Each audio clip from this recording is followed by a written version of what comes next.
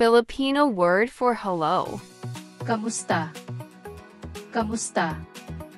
Let's use it in a phrase. English, hello, how are you? Kumusta po kayo? Kumusta po kayo? Kumusta ka? Remember to smash like and subscribe.